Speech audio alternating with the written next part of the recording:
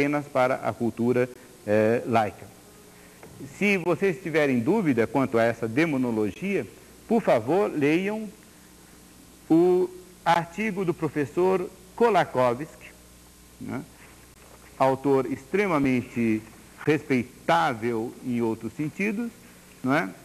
que está editado na revista USP, número 6. O título já é extremamente sugestivo, A Política e o Diabo. Né?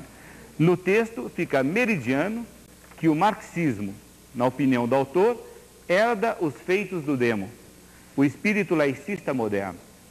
Por isso, dizia eu, que Marx, após ter sido elevado aos céus, não deve ser mandado ao diabo que os carregue. Só com seus textos, e dos fiéis ortodoxos ou não, impossível pensar o presente. Sem eles, impossível compreender o que foi feito do mundo.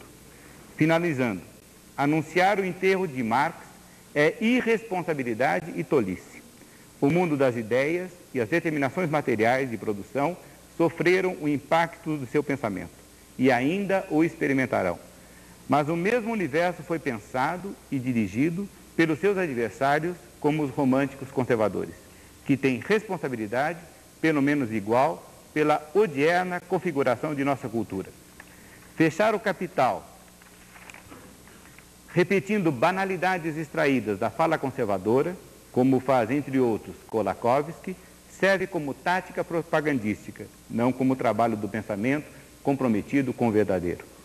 Termino reafirmando que o estudo do marxismo, para identificar culpas ou apontar acertos, não pode ser isolado da meditação sobre outros autores e temas.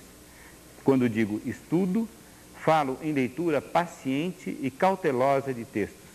Caso contrário, nós logo teremos teses na universidade que, no polo oposto à da mocinha que desejava provar a inelutável passagem da igreja e do modo de produção ao socialismo, tentarão provar outras formas inelutáveis do mando autoritário. As consequências práticas serão desastrosas da mesma maneira, em detrimento de qualquer partido democrático e não só do PT. Que eu queria terminar é dizendo que uh, se existem ortodoxias e se existiram ortodoxias, existem grandes ortodoxias e pequenas ortodoxias. Não vale a pena jogar fora grandes ortodoxias para seguir o pensamento de alguém que nasceu em Xiririca da Serra. Né? Então, é isso que eu queria dizer no início da, do debate.